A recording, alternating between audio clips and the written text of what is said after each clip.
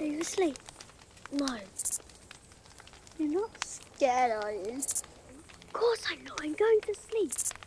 So why aren't you asleep? Because you keep asking me stupid questions. Are you asleep now?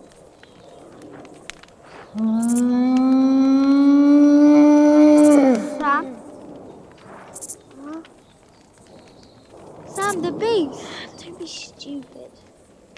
Oh, I wish I was. Sam, please look. Look. Mm. Oh my god. Has it seen us? I don't know. We must talk quietly. Aren't we already talking quietly? It mustn't hear us. Sam, I can hardly hear you. And warn the others. Or shout. Don't shout, or it'll hear us. We'll have to crawl down the hill and warn the others. Through the trees. We have to. In the dark. What else can we do? What about the fire? One of us better stay here. I'm not staying here. Not with that. We'll both go then. The fire will keep it away.